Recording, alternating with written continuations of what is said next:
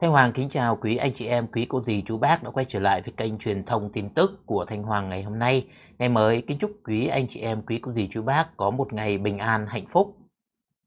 Thưa quý vị, quý anh chị em, quý cô dì, chú bác, kinh tế thị trường đứt đuôi đang tuột dốc không phanh và thị trường chứng khoán đang ảm đạo kéo dài. Báo hiệu cho một nền kinh tế của Việt Nam rất là ảm đạm Chủ tịch Quốc hội ông Vương Đình Huệ vừa mới thừa nhận mục tiêu tăng trưởng năm 2023 là hết sức khó khăn. Theo đó, thì Chủ tịch Quốc hội Vương Đình Huệ hôm 19 tháng 9 thừa nhận tăng trưởng kinh tế 6 tháng đầu năm 2023 chỉ đạt có 3,72%, gần thấp nhất trong 12 năm trở lại đây và đã tạo áp lực rất là lớn cho hai quý còn lại của năm trong việc đạt được mục tiêu tăng trưởng 6,5% đã đề ra cho năm nay. Trên VOA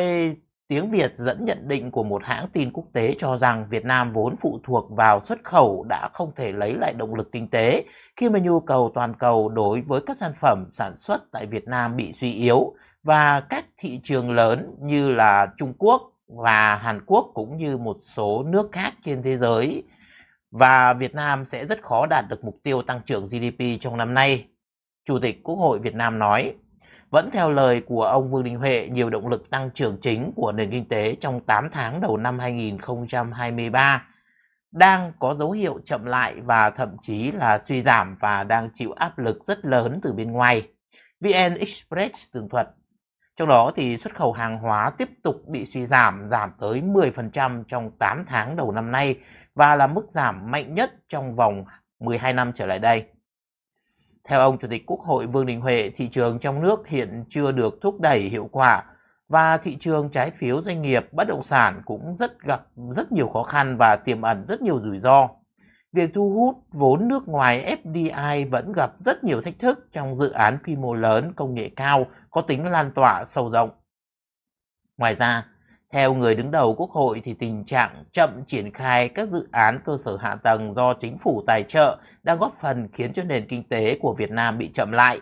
Ông Huệ cho biết chỉ 42,4% giải ngân đầu tư công theo kế hoạch và đã được giải ngân trong khoảng thời gian từ tháng 1 cho đến tháng 8.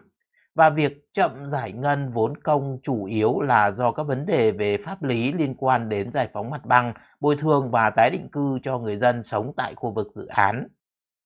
Chủ tịch Quốc hội Việt Nam cho biết hoạt động xây dựng chậm lại cũng là lực cản đối với nền kinh tế.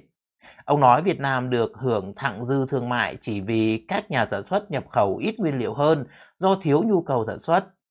Ông cho biết thêm rằng các công ty trong nước đang gặp khó khăn trong việc duy trì khả năng phục hồi trước lượng đơn đặt hàng sụt giảm và nguồn vốn hạn chế. Trên VOA cũng cho biết thêm rằng Việt Nam đặt ra mục tiêu tăng trưởng kinh tế cho năm 2023 là 6,5%. Tuy nhiên thì từ đầu năm cho đến nay thì các tổ chức kinh tế quốc tế đã nhiều lần hạ mức dự báo tăng trưởng của Việt Nam xuống. Vào tháng 7 thì Ngân hàng Phát triển châu Á ADB đã hạ mức dự báo tăng trưởng của Việt Nam trong năm 2023 từ 6,5% xuống còn 5,8% và 6,8% xuống còn 6,2% cho năm 2024. Trước đó thì cũng trong tháng 7, Quỹ tiền tệ quốc tế IMF đã hạ dự báo tăng trưởng của Việt Nam từ mức 5,8% xuống còn 4,7% cho năm 2023. Trên thực tế, nền kinh tế của Việt Nam đã bắt đầu suy thoái từ giữa năm 2022 khi mà hàng loạt công ty đóng cửa hoặc là cắt giảm việc làm. Nhưng thói quen của lãnh đạo Cộng sản Việt Nam là tốt khoe xấu che nên họ không chịu nhìn nhận thực trạng, chỉ đua nhau khoe khoang thành tích cho đến khi không thể che giấu được nữa thì họ mới chịu thừa nhận. Những yếu tố gây nên sự suy thoái của nền kinh tế Việt Nam không chỉ có tác động suy thoái toàn cầu mà còn có những yếu tố nội tại như là hậu quả của cả một quá trình dài, trong đó thì doanh nghiệp thì làm ăn gian dối và quan chức thì tham nhũng và dối trá. Còn theo Hiếu Trần thì kinh tế thị trường đang bị đứt đuôi. Trong cuộc gặp giữa ông Joe Biden, Tổng thống Mỹ với ông Nguyễn Phú Trọng, Tổng bí thư của Đảng Cộng sản Việt Nam tại thủ đô Hà Nội hôm 10 tháng 9 vừa qua, thì người ta quan sát bất ngờ khi mà nghe ông Trọng yêu cầu Mỹ công nhận Việt Nam là nước có nền kinh tế thị trường, khác với ngôn từ xưa nay của Việt Nam theo đường lối kinh tế thị trường, định hướng có đuôi chủ nghĩa xã hội. Ông Biden không trả lời. Trong vài ngày qua, Ông Phạm Minh Chính, Thủ tướng trong chuyến công du bận rộn ở Hoa Kỳ đã liên tục nhắc lại yêu cầu Mỹ công nhận Việt Nam có nền kinh tế thị trường, cũng không nhắc tới cái đuôi định hướng xã hội chủ nghĩa. Thế là thế nào? Kinh tế thị trường mọc đuôi định hướng xã hội chủ nghĩa là cái gì và có gì khác với kinh tế thị trường tự do không có đuôi và tại sao thì các nhà lãnh đạo cộng sản ở Hà Nội cứ nặng nặc đòi Hoa Kỳ, Liên Âu, EU và nhiều nước khác phải công nhận Việt Nam là nước có nền kinh tế thị trường không còn đuôi. Lật lại sách báo cũ thì có thể thấy trước khi bắt đầu cái gọi là đổi mới năm 1986, nền kinh tế eo uột của Việt Nam được gọi là nền kinh tế kế hoạch tập trung hoặc quan điều bao cấp. Tất cả mọi hoạt động sản xuất, buôn bán đều do nhà nước điều khiển và tập trung theo kế hoạch định sẵn và ai làm khác đi như buôn bán trên vỉa hè, đường phố chẳng hạn đều bị coi là làm ăn chui, làm lậu, là vi phạm pháp chế xã hội chủ nghĩa và có ủy ban kế hoạch nhà nước từ trung ương cho đến tỉnh thành lập kế hoạch cho tất cả các nhà máy xí nghiệp hợp tác xã, ai sản xuất mặt hàng gì, số lượng bao nhiêu, giá cả như thế nào, phân phối cho ai vân vân. Kinh tế tư nhân không tồn tại các nguyên tắc của thị trường tự do đều bị xóa sạch sau các cuộc cải tạo tư sản, tập thể hóa nông nghiệp vân vân. Khách hàng tức là người dân không có sự lựa chọn mà được báo nhà nước bao cấp hàng hóa dựa theo giới tính tuổi tác ngạch chặt được quy định một cách tùy tiện. Ví dụ như cán bộ phụ nữ thì mới được phân phối vải mùng dùng làm băng vệ sinh, cán bộ nam mới được mua dao cạo râu. Anh lái xe mỗi tháng được mua 17 kg lương thực, trong khi thì một bác sĩ chỉ được mua 13 kg. Nhà nước giải thích lao động lái xe thì nặng nhọc hơn là công việc của một bác sĩ.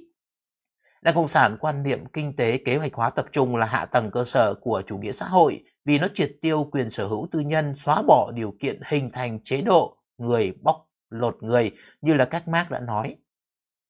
Chủ nghĩa xã hội chưa thấy bóng dáng ở đâu cả, mà cả nước đã đói vàng mắt, kiệt quệ đến tận cùng vì mô hình kinh tế ngu xuẩn và phản động nói trên.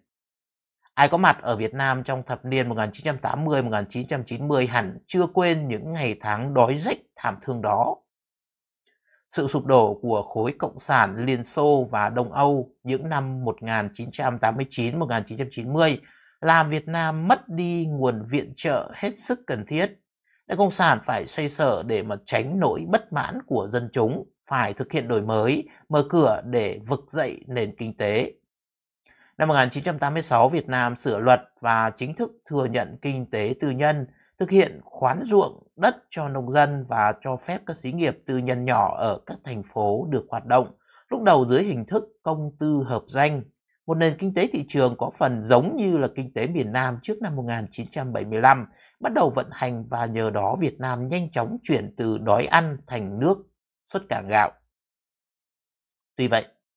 Đảng Cộng sản chưa bao giờ từ bỏ ảo tưởng áp đặt cái gọi là chủ nghĩa cộng sản lên đất nước Việt Nam cho nên khi chuyển sang kinh tế thị trường, Đảng đã thòng thêm cái đuôi định hướng xã hội chủ nghĩa và tạo thành một thứ quái thai hồn chương ba ra hàng thịt. Tạp chí Cộng sản của Đảng Cộng sản định nghĩa kinh tế thị trường định hướng xã hội chủ nghĩa là mô hình kinh tế trong thời kỳ quá độ lên chủ nghĩa xã hội nói kinh tế thị trường định hướng xã hội chủ nghĩa có hay không có nghĩa ở đây không phải là kinh tế thị trường tự do theo kiểu tư bản chủ nghĩa, cũng không phải là kinh tế bao cấp, quản lý theo kiểu tập trung quan liêu và cũng chưa hoàn toàn là kinh tế thị trường xã hội chủ nghĩa bởi vì như nói ở trên thì Việt Nam đang ở trong thời kỳ quá độ lên chủ nghĩa xã hội, vừa có vừa chưa có đầy đủ các yếu tố của chủ nghĩa xã hội. Mớ chữ nghĩa dối rắm đó chỉ nhằm che giấu một chủ trương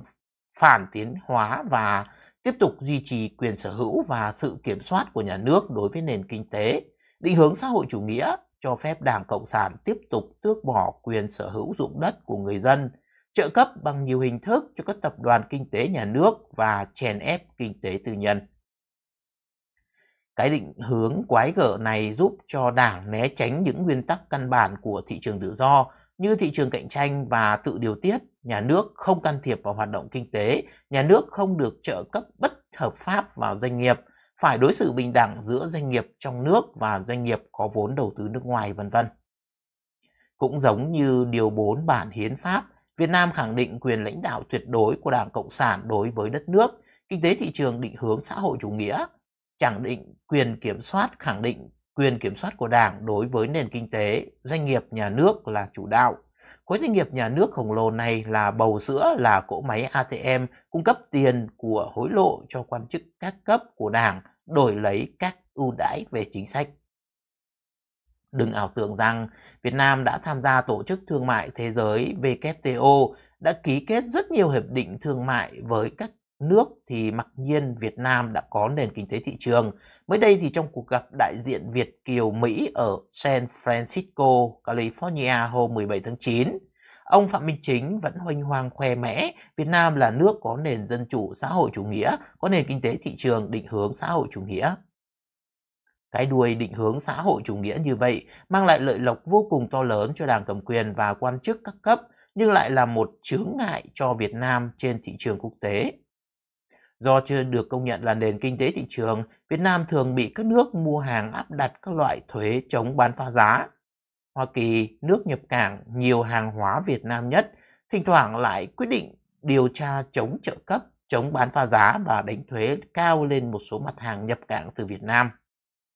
Mỗi khi có sản phẩm Việt Nam bị nghi ngờ được nhà nước tài trợ hoặc hàng hóa Trung Quốc núp bóng Việt Nam để né thuế Bộ Thương mại Mỹ lại tổ chức điều tra và so sánh sản phẩm đó với mặt hàng cùng loại ở một nước có nền kinh tế thị trường tự do, từ đó xác định mức trợ cấp và áp thuế cao để bù lại. Ngoài ra,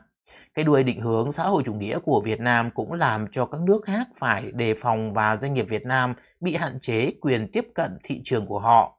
Nguyên nhân không có gì khó hiểu. Hoa Kỳ và các quốc gia tư bản khác không chấp nhận để cho các công ty hầu hết là tư nhân của mình phải cạnh tranh không sòng phẳng với các công ty được các nhà nước độc tài chống lưng và kiểm soát. Định hướng gì thì định, nhưng kinh doanh thì phải minh bạch, công bằng cùng cạnh tranh trên một sân chơi bình đẳng thì mới có thể hợp tác bền lâu được. Dường như đã bắt đầu thấm thía mối hại và cái đuôi định hướng xã hội chủ nghĩa gây ra cho nền kinh tế mấy năm gần đây và các nhà lãnh đạo Việt Nam khi lãnh đạo đất nước gặp các lãnh đạo tư bản thì thường khẩn khoản yêu cầu họ công nhận Việt Nam là nước có nền kinh tế thị trường, bỏ qua cái thực tế có cái đuôi của nền kinh tế hiện hữu tại Việt Nam. Trong cuộc gặp gỡ của bà Janet Yellen, Bộ trưởng Tài chính Mỹ, bên lề Đại hội đồng Liên Hợp Quốc hôm 20 tháng 9, Ông Chính đề nghị phía Hoa Kỳ hạn chế các biện pháp phòng vệ thương mại đối với các mặt hàng dệt may, da dày, đồ gỗ và đặc biệt là nông sản, nguồn sống của nông dân Việt Nam và ông cũng đề nghị Hoa Kỳ sớm công nhận quy chế kinh tế thị trường của Việt Nam. Bà Yellen tỏ ra không quan tâm tới các đề nghị khẩn khoản của ông Phạm Minh Chính. Bộ trưởng Yellen không đề cập tới vấn đề quy chế thị trường của Việt Nam mà thay vào đó nhấn mạnh tới việc nâng cấp quan hệ Việt Nam-Hoa Kỳ lên cấp đối tác chiến lược toàn diện, theo Reuters. Ông Chính cũng liên tục lặp lại đề nghị như vậy trong các cuộc tiếp xúc với bà Catherine Tai, đại diện thương mại Mỹ và bà Gina Raimondo, Bộ trưởng Thương mại, nhưng hầu như thì không nhận được bất cứ phản ứng thuận lợi nào. Thay vì thực tâm cải cách nền kinh tế theo thị trường tự do để hòa nhập với thế giới vẫn khư khư bám lấy cái quái thai định hướng xã hội chủ nghĩa để trục lợi, chính phủ Việt Nam lại đòi các đối tác thương mại phải công nhận cái mà họ biết rõ là không có thực. Lối ứng xử quái đản đó làm cho Cộng sản Việt Nam khó mà có được lòng tin của các đối tác, nhất là Hoa Kỳ, thị trường nhập cảng lớn nhất của Việt Nam, cho dù quan hệ giữa hai bên vừa được nâng lên hàng đối tác chiến lược toàn diện đi chăng nữa. Còn theo Hàn Lam thì thị trường chứng khoán Việt Nam đang ảm đạm và có thời gian kéo dài. Dường như không có lực đòn bẩy nào xuất hiện khi mà Việt Nam, Hoa Kỳ thông báo là nâng cấp lên đối tác chiến lược toàn diện hôm 11 tháng 9. Giới đầu tư vừa phải trải qua phiên giao dịch đầu tuần dầu sôi lửa bỏng, toàn thị trường có 900 mã cổ phiếu bị rớt giá chỉ số VN Index giảm gần 40 điểm, lùi về mốc 1.153 điểm. Như vậy thì chỉ trong 3 phiên gần đây, chỉ số chứng khoán này đã bị rớt một mạch tổng cộng tới 73 điểm. Cổ phiếu của tập đoàn Vingroup mã VIC đã mất 40% kể từ khi công ty con của tập đoàn này VinFast mã VFS niêm yết trên thị trường Nasdaq Mỹ hôm 15 tháng 8. Hiện tượng cổ phiếu bị xả tại mức giá sàn xuất hiện ở hầu hết các nhóm ngành trong đó tập trung nhiều nhất ở nhóm bất động sản, chứng khoán, thép. Lực bán sau đó lan rộng ra nhiều nhóm ngành giao dịch tích cực cuối tuần trước như là dệt may, thủy sản, hóa chất. Mã cổ phiếu VIC giảm còn 46.500 đồng trên mỗi cổ phiếu và đây là mức giá thấp nhất kể từ đầu tháng 11 năm 2017.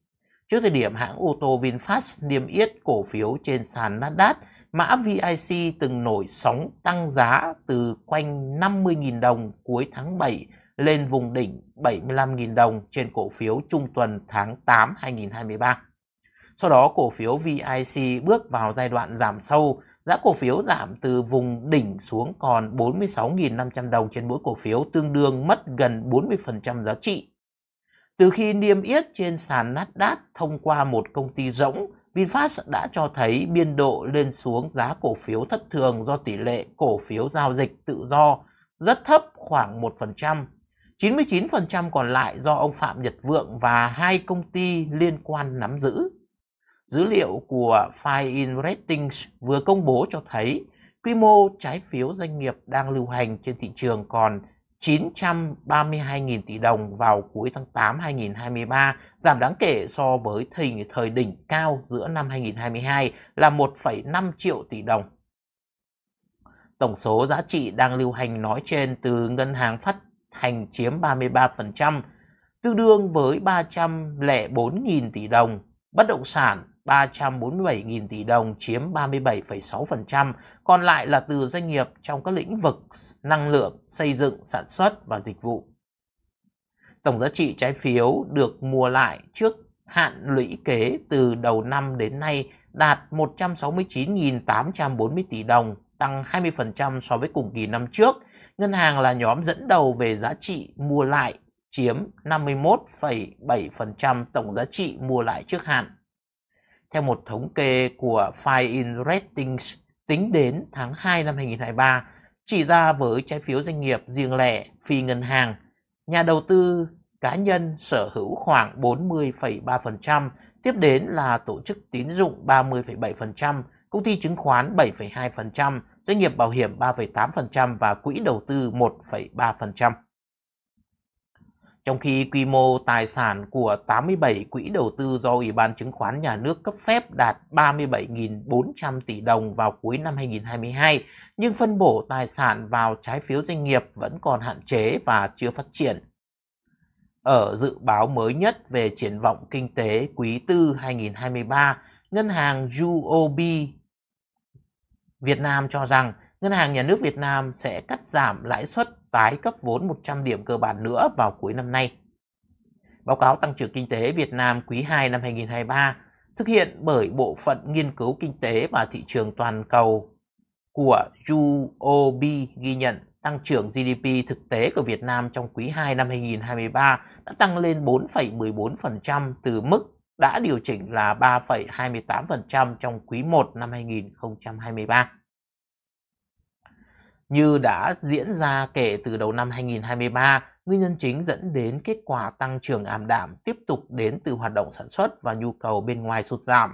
Xem ra trong nửa đầu năm 2023, nền kinh tế Việt Nam tăng trưởng 3,72% so với cùng kỳ, thấp hơn nhiều so với con số 6,46% trong nửa đầu năm 2022. Nhìn xa hơn vào những kết quả này, triển vọng trong thời gian còn lại của năm có thể sẽ gặp nhiều thách thức vì những dữ liệu mới nhất được công bố chưa thật sự ấn tượng. Chỉ số quản lý mua hàng PMI của Việt Nam đã quay trở lại ở mức trên 50 vào tháng 8 năm 2023 sau 5 tháng giảm liên tiếp dưới 50 và mức thấp nhất là 45,3% vào tháng 5. Kể từ tháng 9 năm 2021 và là quốc gia có chỉ số kém nhất ở châu Á vào thời điểm đó. Tuy nhiên thì PMI của Việt Nam đã kém hơn PMI chung của khu vực ASEAN trong tháng thứ 12 liên tiếp. Xuất khẩu của Việt Nam đã giảm 9 trong 10 tháng qua và tháng 8 năm 2023 giảm 8,5% so với cùng kỳ, trong khi thì nhập khẩu chứng kiến 10 tháng giảm liên tiếp. Tháng 8 năm 2023 giảm 5,8% so với cùng kỳ. Nhu cầu ở bên ngoài suy yếu được thể hiện qua xuất khẩu của Việt Nam sang Mỹ, thị trường lớn nhất chiếm 28% tổng xuất khẩu đã giảm 9 tháng trong 10 tháng qua. Và tháng 8 năm 2023 giảm 9,4%, trích báo cáo tăng trưởng kinh tế Việt Nam quý 2 năm 2023 của UOB. Xin dành cảm ơn thời gian theo dõi của quý vị và các bạn đã dành thời gian theo dõi chương trình của chúng tôi đến phút cuối. Hãy để lại những lời bình luận góp ý ở bên dưới video để giúp cho chúng tôi thực hiện các chương trình kế tiếp một cách tốt hơn. Hãy bấm nút chia sẻ để thông tin được lan tỏa đến với nhiều người hơn. Hãy bấm nút đăng ký để trở thành thành viên tích cực của kênh và đừng quên bấm vào hình cái chuông bên cạnh nút đăng ký để nhận được những thông báo nhanh nhất, sớm nhất và không bỏ lỡ bất cứ một chương trình nào mà chúng tôi sắp phát hành. Xin thành cảm ơn và hẹn gặp lại quý vị và các bạn trong các chương trình kế tiếp của chúng tôi.